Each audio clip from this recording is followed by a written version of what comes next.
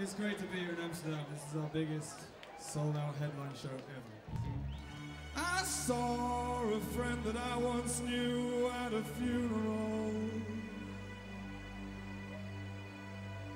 He took the time out to be seen.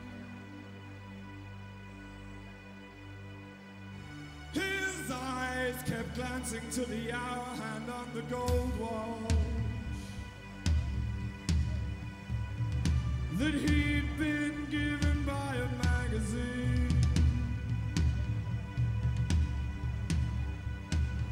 He didn't cry when the priest gave the sermon. Just pulled out the woolen